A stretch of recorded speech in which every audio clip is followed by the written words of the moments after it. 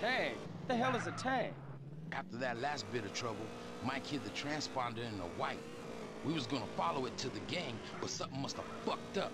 And now we gotta use it to find the van and rescue Mike. Oh, how it work? Simple.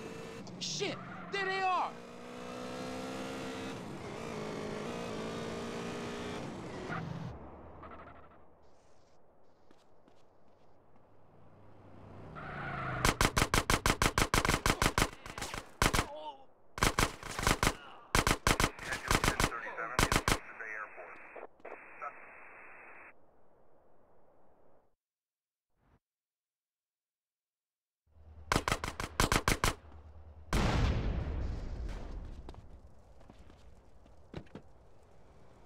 Beep, beep.